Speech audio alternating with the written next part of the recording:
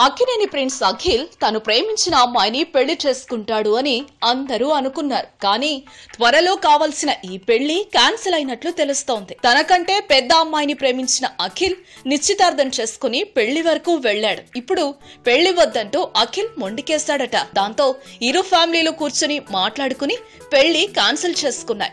ఇక తాజాగా సినిమాల విషయంలో కూడా అఖిల్ చెత్త నిర్ణయాలు తీసుకుంటున్నాడు. అఖిల్ మొదటి సినిమా అట్టర్ ఫ్లాప్ అయిన విషయం తెలిసిందే. దాంతో రెండవ సినిమాపై చాలా జాగ్రత్తలు తీసుకోవాల్సి ఉంది.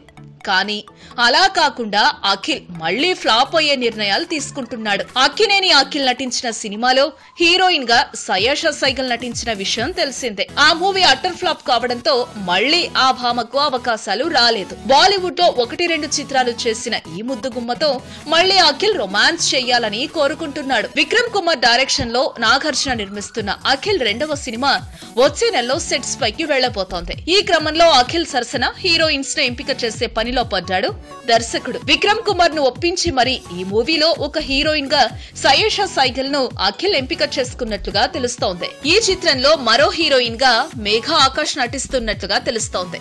అఖిల్ నిర్ణయంపై సినీ వర్గాల్లో ఆగ్రహం వ్యక్తమవుతోంది. అఖిల్ మైండ్ లేని పనులు చేస్తున్నాడంటూ ఆరోపణలు జోరుగా గుప్పిస్తున్నారు. మరి ఈ విషయంపై నాగ ఎలాంటి నిర్ణయం తీసుకుంటాడో చూడాలి. ఏదేమైనా అఖిల్ వల్ల నాకి పెద్ద సమస్యలు వచ్చి పడుతున్నాయి.